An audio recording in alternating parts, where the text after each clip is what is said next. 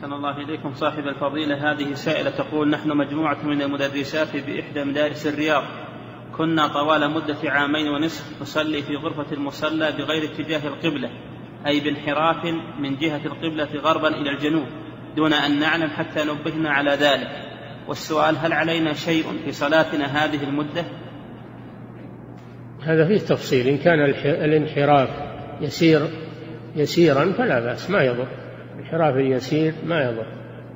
أما إذا كان الانحراف كثيرا بأن تكون القبلة خلف ظهرك أو على جنبك هذا غير صحيح. لا تصح الصلاة. وأنت في بلد كان بإمكانك تسأل تشوف المساجد تشوف المحاريب. أنت في بلد. فإذا كان الانحراف كثيرا عن القبلة بحيث أن تكون القبلة إلى جنبك أو إلى ظهرك فلا بد من إعادة الصلاة.